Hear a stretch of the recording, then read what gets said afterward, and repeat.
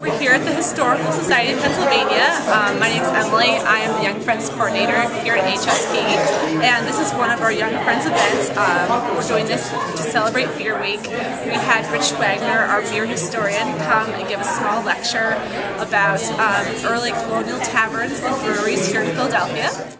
Give anything to have a walking bar tour in this neighborhood. I just, I would, I would love to see what it was like. You know, nobody had a dentist. Everybody was smoking. You know, they must have been great places, you know.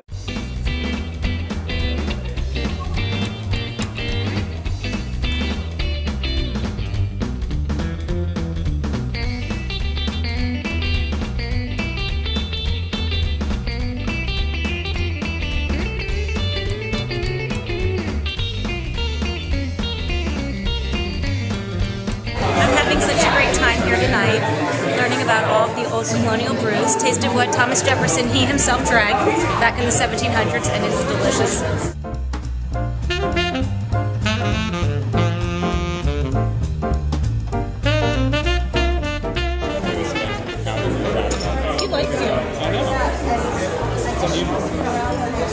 Yeah, sure.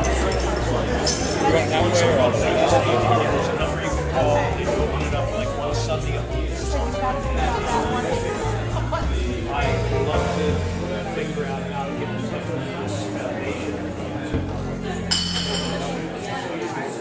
having a really great time at the Young Friends event at HSP. We're doing a beer tasting, and um, we had a really fun and informative lecture by Rich Wagner.